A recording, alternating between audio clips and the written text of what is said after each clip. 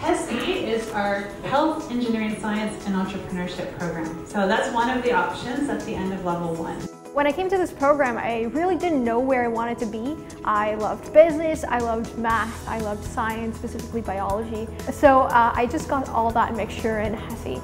We created this specialization to generate someone who is a hybrid, who knows how to talk like an engineer, who also can talk the medical part of it, so they can interface with clinicians and with patients, and they understand the jargon and what's happening at the physiological level, and also the entrepreneur. So someone who can talk those three different languages and take those cool concepts and ideas to market. We want students to learn how to stay with the problem and think about a problem that's worth working on. We want them to figure out how to come up with lots of different ideas. And then we want them to learn how to uh, design and build and test those ideas out. HESE was a lot about human-centered design. Coming into second year, uh, there's a big shift from the engineering science towards the health sciences. So I got to study a lot of um, human physiology and anatomy, biochemistry, but also got to link it back to the engineering, as this year we also do genetic engineering um, and health solutions design projects as well.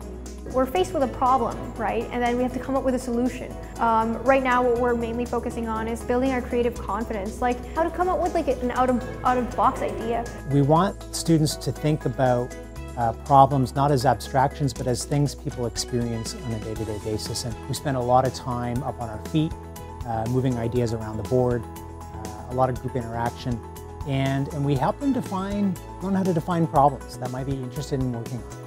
What HESE brings to the table is that it allows you to develop your soft skills. We're talking um, empathy, human-centered design, the ability to communicate. I believe this degree uh, allows me to open multiple doors um, and avenues for my future, whether I want to go down the engineering stream or the health sciences stream.